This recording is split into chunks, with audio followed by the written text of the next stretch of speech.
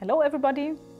The production of measurement devices and lab-scale extruders is a core competency of Brabender.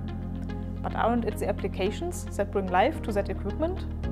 Here at Brabender headquarters in Germany, we host two application labs, one for the plastics and rubber and one for the food and feed applications.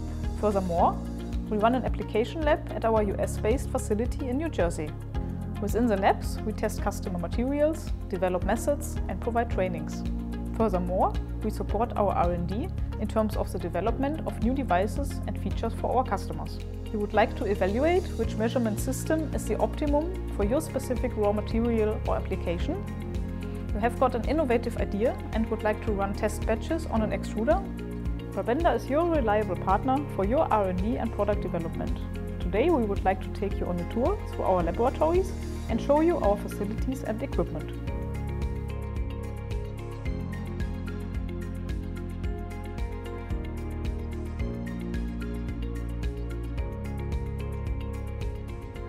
Welcome at our application laboratory for plastics and rubber.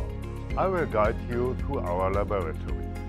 My name is Martin Schwarz and I'm responsible for this lab since 2001. On more than 500 square meter or 5,400 square feet, we have most of our modular product portfolio available for the support of our customers.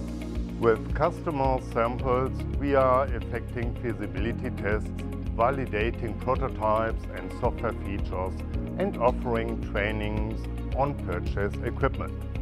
We are in cooperation with universities, research institutes and companies in terms of research projects. Let's start with the extruders. In this part of the lab, you can see several types of single-screw extruders we are offering. Our twin screw extruders provide ranges of 12, 20 and 25 mm. On request, we can downscale production lines, including volumetric or gravimetric dosing systems, specific dies and the required downstream equipment. The extruders are designed as standalone device or as modular system, which consists of a torque meter and the attachment. Another kind of instruments are internal mixers for the analysis of the flow behavior of polymers.